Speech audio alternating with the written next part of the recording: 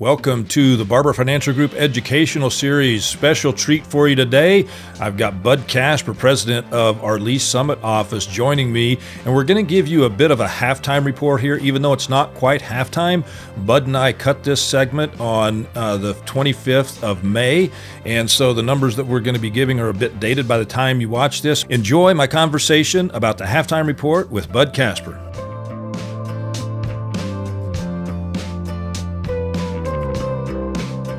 Hello, everybody. I'm Dean Barber, founder and CEO of Barber Financial Group, along with Bud Kasper, he's president of our Lee's Summit office. We're here today to deliver the very exciting halftime report.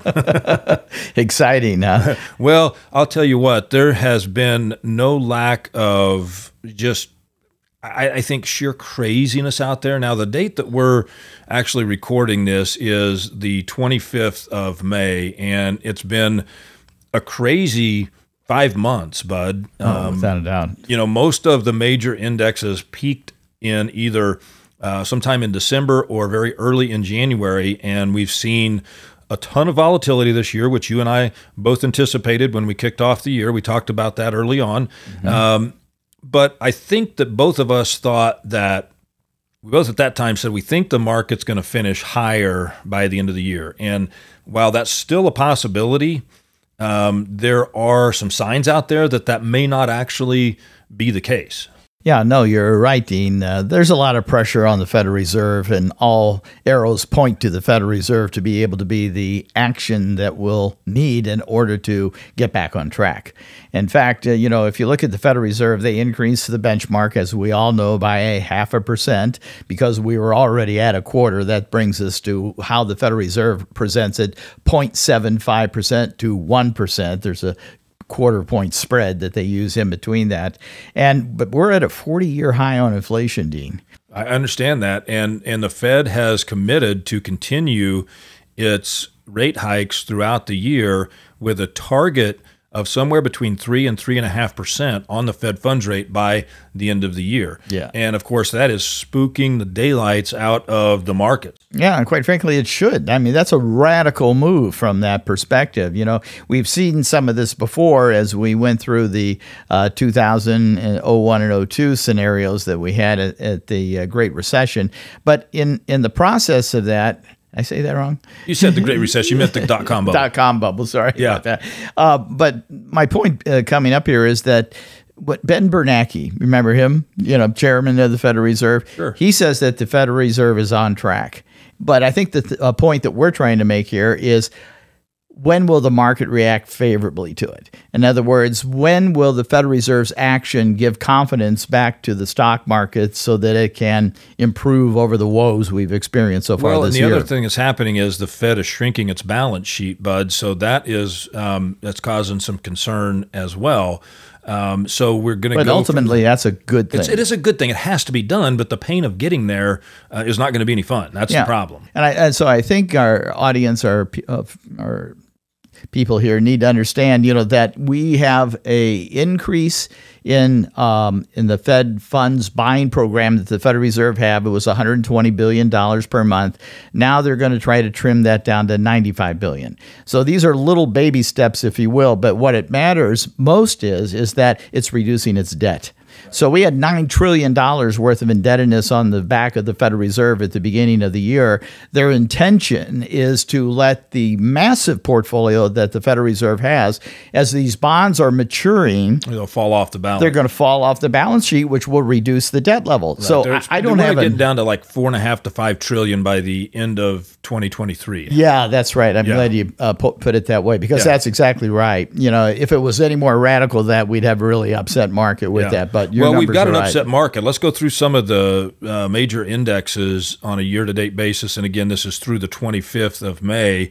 So the NASDAQ composite is the worst performer year to date of all the major indexes, negative 27.8%, followed by the Russell 3000 at a negative 18.24, uh, the Russell 1000 at a negative 18, S&P 400 mid cap negative uh, 16.03, uh, 16.14 negative on the S&P small cap, uh, RSP equal weight negative 12.57, S&P 500 negative 17.07 um, and then S&P 100 negative 18.56 Dow is uh, really the best performing um, major index year to date bud with a negative 12.09 and of course the Russell 2000 is also in bear market territory right now with a negative 21.07 mm-hmm. and all indications say that most likely the entire market will fall into bear market territory. Do you think that that's the case here? I do. Yeah, I don't think there's any way of escaping that. You know, if we look just at the month of April alone, Dean, uh, the U.S. stock market, both um, funds and ETFs, dropped uh, 8.4%. Technology lost 13.2%. Now, with all that occurring the way it is, and understanding that now we don't have the stimulus, you know, from the from the Federal Reserve, just the opposite. We have right. the braking of the Federal Reserve. The question is, have we seen all of the negative consequences of this action at this time? And I don't believe we have. And what the market is fearing here is that the Federal Reserve's commitment to stop inflation uh, will be too excessive and cause the economy to go into a recession. Right. And the term that they use for that is can the Federal Reserve engineer a soft landing? Meaning instead of being so radical that it just you know rattles the cages of every investor out there or can they smooth this out a little bit so that hopefully by the time we get to the end of the year we're seeing the results of inflation going down lower and if we get confidence that the Federal Reserve is on the right track most certainly you should then see the stock market start to uh, show some progress again. So, Bud, let's have a little bit of discussion around what's going on in the uh, fixed income market because uh, in the in the fixed income market, it doesn't react very favorably to a rising interest rate environment. Now, um, I'm going to show here on my screen uh, a total of 90 different investment grade ETFs. Okay. The very best investment grade ETF on a year to date performance is a positive 7.63, and that's the BMO Short Corporate Bond Index ETF, um, followed by the um, iShares Bonds December 22 term corporate ETF uh, of negative 0.36 year to date, and other iBonds uh, ETFs down, you know, anywhere from 0.6 to a little over 1%. So those don't look too bad. But if you kind of start scrolling down here, um, you've got the federated uh, short term duration uh, corporate ETF negative 5.34. So that's the short duration. Short term, right. And then um, you kind of scroll on down here, and the very worst performing fixed income ETF is uh, FlexShares uh, and that's the FlexShares Credit Scored U.S. Long Corporate Bond Index Fund. Long maturities. Negative 20.82. Yeah. yeah, and that's what's shocking people. Yeah. You know. Yeah, so so you get Bud, you get these um, like the target date funds that are out there that that are holding, you know, longer term debt, mm-hmm. and the and the bonds are down. I think the bond ag is down uh, around ten percent as we do this uh, uh, program here.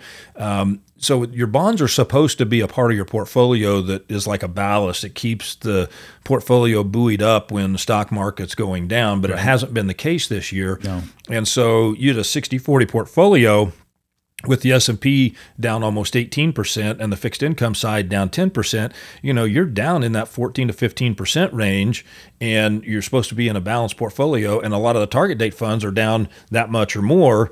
And even the shorter duration uh, target date funds like a target date 2020 or target date 2025 those are all down pretty heavily this year as well.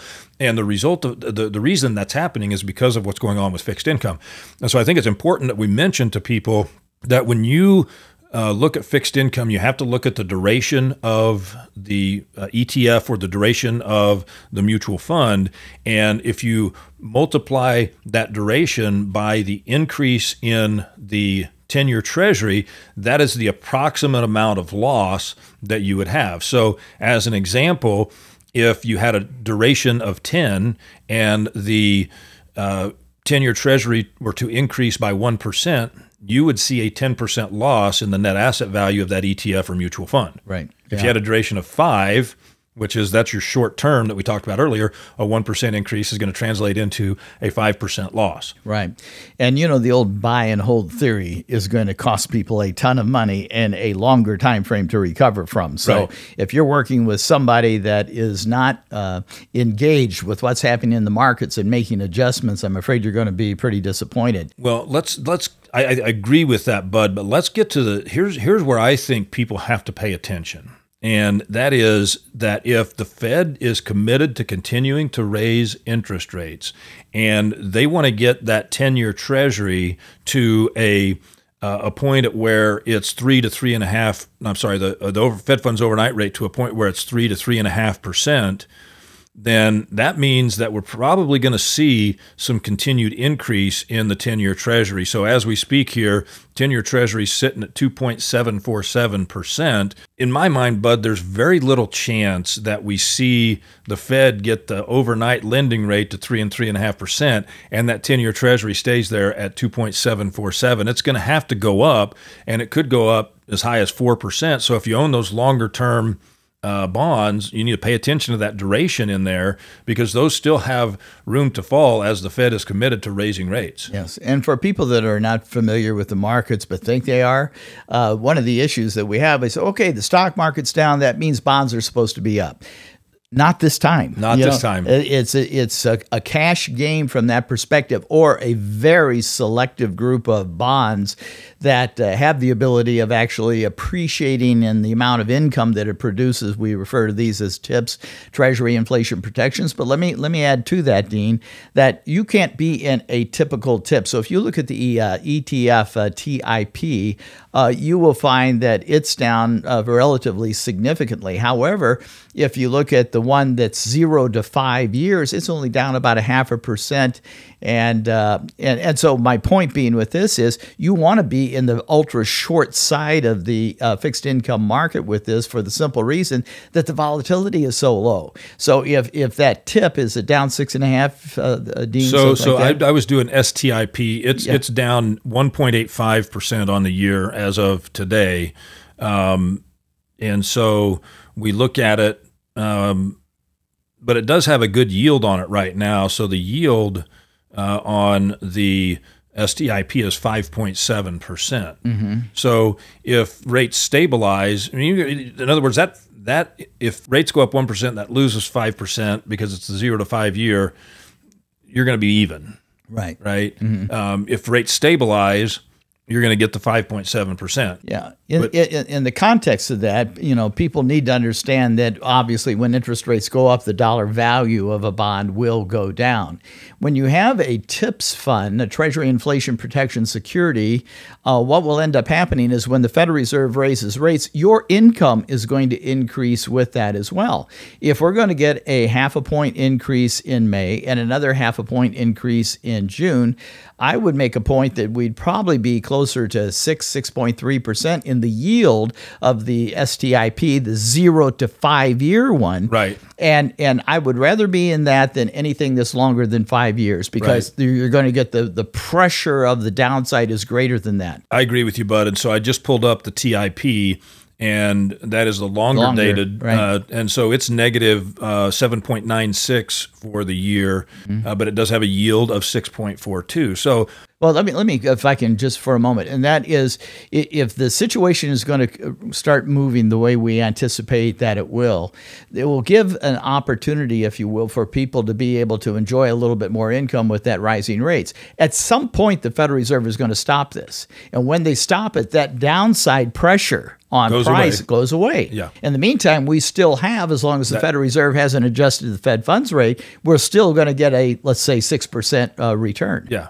yeah. So, and and that that's I think the important point of the inflation protected treasuries, and um, so you know you just got to be really really careful with the I think as careful with the fixed income You do. uh, side of things today as you do with the equity side of things, and so you know really what we're saying here is that it's been a tough first half of the year. There's no question about that. A tough five months. Um, but I think the last time that we saw anything like what we're witnessing today was 2008. Yeah. And and remember in 2008, you and I you know, talked to each other and said, well, there's no place to hide um, because fixed income wasn't making money, real estate wasn't making money, uh, you you weren't making any money in the stock market. Um, it was a bloodbath across the board. The only place that was safe was cash. Yeah. And you know, at least today, um, with with all the inflation coming, there is a substantial fear that we go into a stagflation type of an environment, which, of course, the last time that that happened was the late 70s and early 80s, where you had a stagnating economy, but still inflation was running rampant. Oh, you're so right. And if you go back to the dot com bubble in 2001 and 02, now there's a circumstance where bonds were the bastion of safety in that particular period. So, what are we saying here? We're saying things are always different. They're always different. And therefore, we have to make adjustments, especially for our retirees.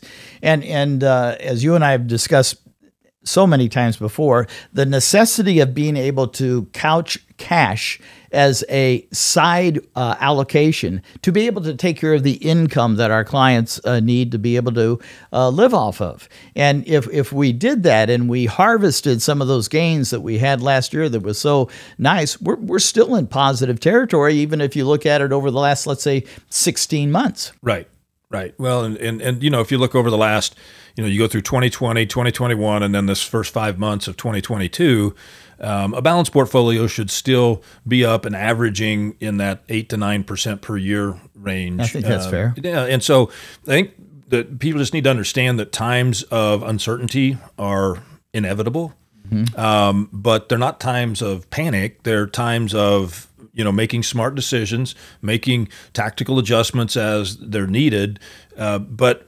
Nobody can predict the future. Nobody knows where we're going to be. But I can tell you this every single recession and every single bear market, they've all come to an end and there's been recovery. Right. And this time will be no different. Um, just that you don't know the duration or the depth of the recession, and you don't know the duration or the depth of uh, a, a, bear market. Right. Uh, they're all different, but bear markets are generally far shorter than bull markets. Yeah, and I think one of the things that's been the nemesis of this downturn has been, of course, technology.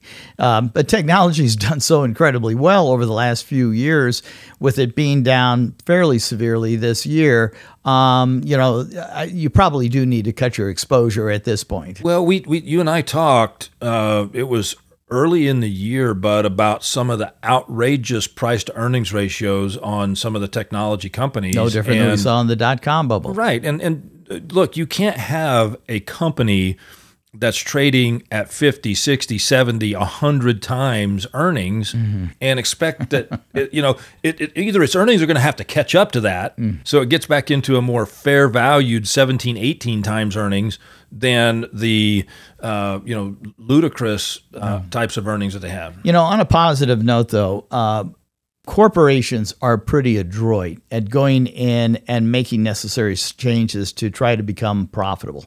And I would tell you that have a lot of confidence in America's uh, corporations because the women and, and men who are running these corporations with the, you know, hundreds of people that support their businesses they they understand what we're going through and they're making adjustments as as we speak we're also going to understand that the consumer is still in the game Granted, prices are higher from that perspective. Look at the housing uh, industry is a great example of that. But I still believe that uh, if we have a strong consumer, you know, what we're really lacking is supply. Right. You know, and that will correct itself. That that will correct itself, Bud. But I think the the problem when you say the strong consumer, yes, consumer spending is remaining the same or maybe it's going up, but it's not because the consumer is wanting to spend more on certain things. It, it, a lot of the consumer spending is a result of the rampant inflation that we have right now. Um, you just think about it uh, from a daily spending activity, right? Uh, your your meals are up ten percent in the last year. Well, did you get a ten percent raise? Right. So what, what's happening with what's causing what inflation is causing is for people to forego some of the discretionary spending that they might be doing, and so you're seeing a, a huge amount of pressure in the, the, the consumer discretionary stocks right now. Mm-hmm. Um, now, consumer staples, those stocks are, are holding up far better than the discretionary. Yeah, and the sad part uh, when you look at America as a whole is people that have lower incomes they're getting hit the hardest. They are getting hit the hardest. The, the lower to middle income people are getting hit the hardest. There's zero question about that. The people that are on a fixed income or have very little except for Social Security and maybe a pension that doesn't have an inflation adjustment on it, those people are getting hit harder and harder. And um, you know the money supply out there has just gone through the roof, but it, you know incomes have not followed suit, and so that's where I think the consumer is going to continue to feel pressure. And I think that goes back to a uh, a possibility for inflation to remain yet have a stagnating economy because if the consumer's tapped out and they're still spending but but they're but they're not able to do the other things that's going to slow the growth of the economy.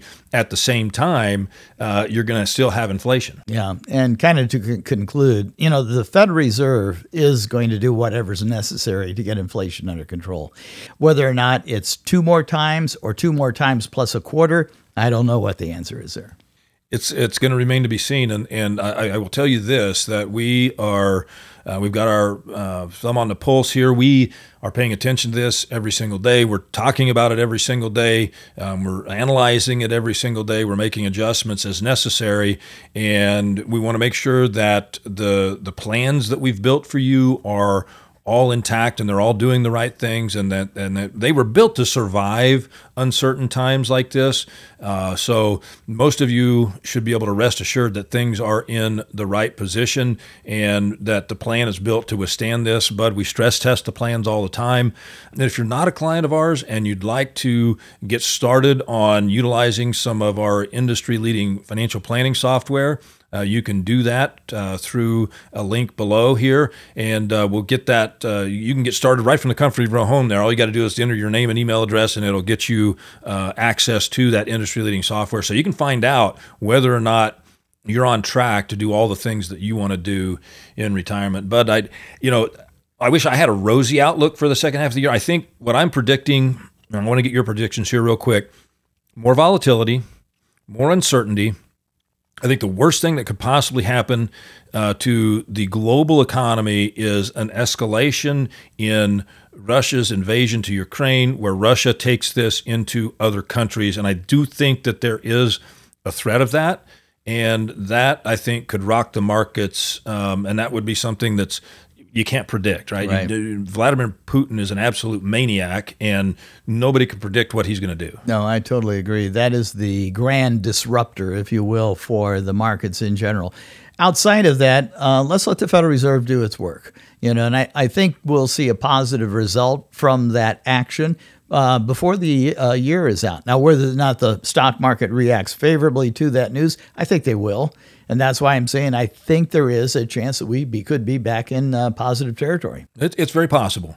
There are some people that are calling for much more pain ahead, uh, but there are also people that are saying there will you know, be more pain ahead, but that isn't where we're going to be at the end of the year. In my this really is, in my opinion, a time for patience, and and you have to be patient here. You have to understand that a company like Apple that's down 21% this year. So you would say Apple is in bear market territory. Absolutely it is. Well, its price earnings is back down to 22.83 now. So very reasonable. More favorably valued. Yes. Like to see that in the 17 to 18 times, but Apple is a company that has the ability to cause that price to earnings ratio to decline, not just from a stock price drop, but because they're earning more money. And by the way, one of the uh, few technology companies that pay a dividend. Yeah.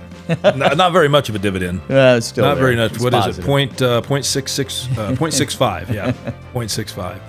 Well, we appreciate you uh, joining us here for the halftime report. I'm Dean Barber along with Bud Kasper. Thanks for joining us. Thanks for joining us here on YouTube. And you can start to interact with us right through the comments section. And also down below here, you'll see a link for those of you non clients of Barber Financial Group, a link to access our industry leading financial planning software where you can start to build your financial plan from the comfort of your own home. As always, make sure and subscribe if you haven't already. Give us a thumbs up and share this with your friends.